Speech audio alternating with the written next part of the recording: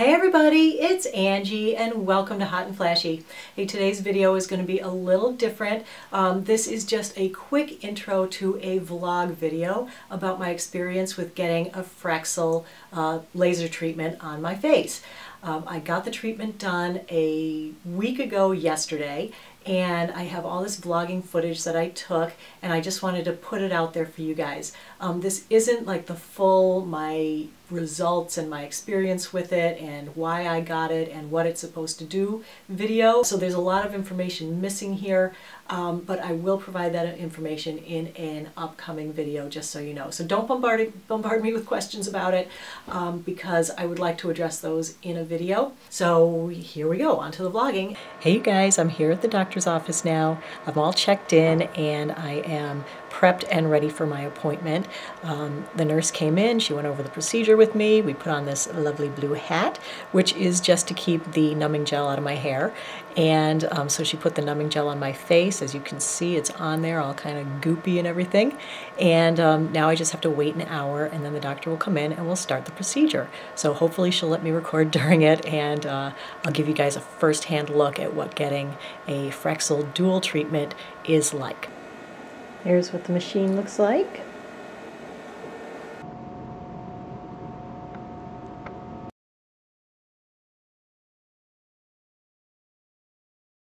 All right, I'm done. Look at my face, it looks so weird.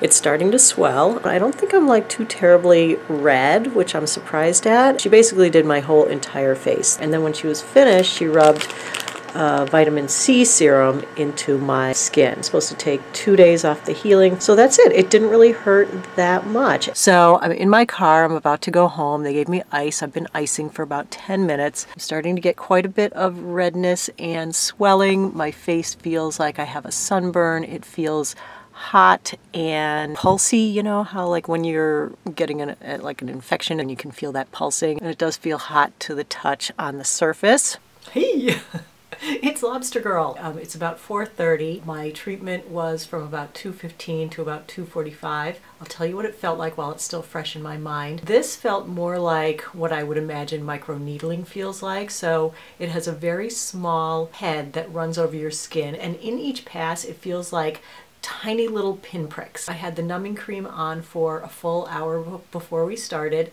and so it didn't really hurt that much. I was so surprised. I had so much more pain with the IPL than I did with this. This was literally like a piece of cake. With each pass it becomes more and more uncomfortable but I wouldn't say it was ever the kind of pain where I was like grimacing or, you know anticipating and like you know jumping every time because it's more of like a rolling like continual prickly sensation. Aside from the numbing cream, they do have the uh, cooling air head that goes along with the laser so that it's blowing cool air at the same time so that cools your skin and keeps everything nice and comfortable as well. She kind of did like a crosshatch kind of thing where on the cheek she would do a bunch of passes up and then she would do a cross. I think she said she did four to five passes in each area but by the time you got the cross hatching and everything it adds up to like eight or nine passes. She actually did a couple of passes uh, underneath each eyebrow. She didn't go down onto the actual lids, but she said that will help to lift my eyes a little bit. She did a few passes underneath my eyes, uh, really tight and close, and she got in really close up here. You can you can actually see it's almost like I was wearing goggles, which I wasn't. She said that laser you don't have to wear the eye goggles, and then she gave me ice to ice it, and I'm supposed to be icing it 15 minutes on and 15 minutes off for the rest of the evening. I can tell that already some of the brown spots are already darkened up and they're already feeling a little crusty. And the way it feels now is just like a sunburn. It just feels a little bit hot, a little burny, a little stingy. Um, it feels tight. So for tonight, I will just wash my face. They recommend using the vitamin C serum again, so I'll put on the vitamin C serum. I will not use Retin-A for two weeks. The other recommendations were to sleep with the head elevated so that the uh, swelling can come down. I'm back. It's 24 hours post-procedure and um, it has been a very comfortable day. I didn't really leave the house too much. I stayed in, I've slathered on moisturizer, I've slathered on sunscreen. Um, there is no more of a burning sensation today at all from when I woke up. Uh, the swelling has really gone down quite a lot and it just feels dry and tight today. Tonight I'm staying in, I'm having some girlfriends over for some wine because of course they're curious about what I had done and uh, I think the the lines up here are the funniest part that I have like a uh, she really knows how to draw a nice straight line, my dermatologist. It looks like I've been frolicking on one of those beautiful black sand beaches with the super, size, super fine black sand and I have black sand all over my face. There's not too much sloughing going on right yet. Um, there's not too much skin coming off. So um, let me give you a look at what it looks like close up.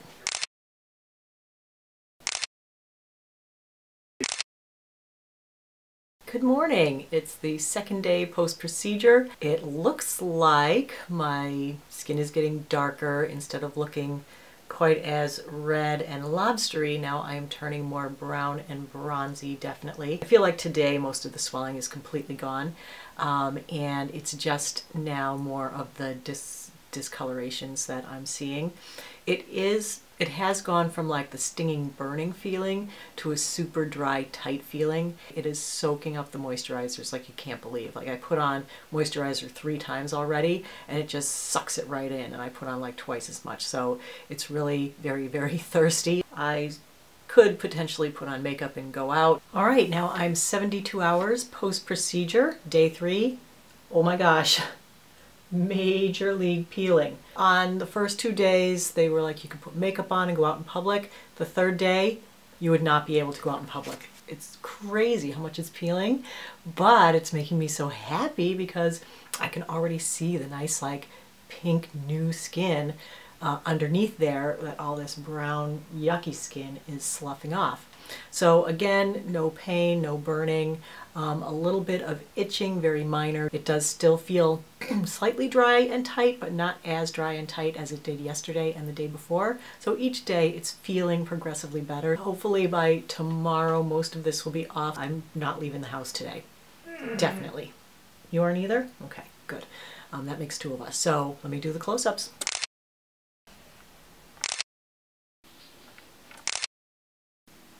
Here we are, fourth day post-treatment. I am so glad that yesterday is over with. Today is much better and I'm hoping that by tomorrow this will be majorly off and I can go back out into the world and re-emerge from my uh, little cocoon. Day five post-procedure.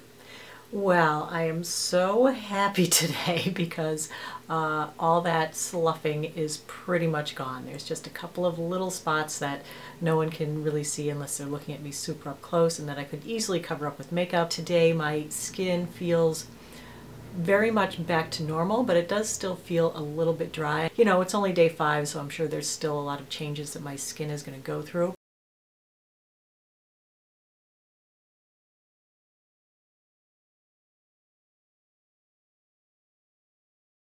All right, so that was it for the video for today, everybody. As always, thanks for watching, and I will see you uh, in the next video. So take care. Bye-bye.